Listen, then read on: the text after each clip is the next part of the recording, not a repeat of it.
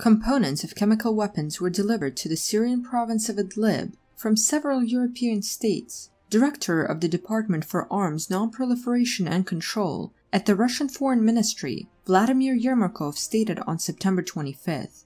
On September 20th, Russian Foreign Ministry spokesperson Maria Zakharova stated that a threat of staged chemical attack in the province of Idlib still remains.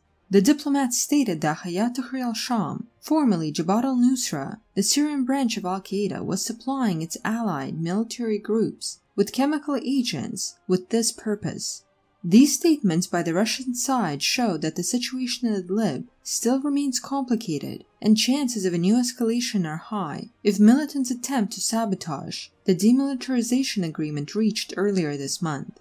Meanwhile, the Russian language media speculates that Russia will provide Syria with a batch of short to medium range air defense systems, additionally to the already announced supply of S 300. These reports remain unconfirmed. Jordan and Syria may open the Nasib border crossing in the first half of October, according to their Jordanian newspaper Al Ghad. On September 25th, Syrian Prime Minister Imad Khamis announced that the Syrian side of the crossing had been restored.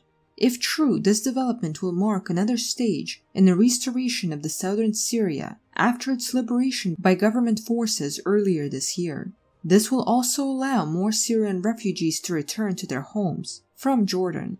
U.S. Defense Secretary Jim Mattis has ordered the military to pull out four Patriot air defense systems from Jordan, Kuwait, and Bahrain in the Middle East, the Wall Street Journal reported on September 26, citing several senior military officials.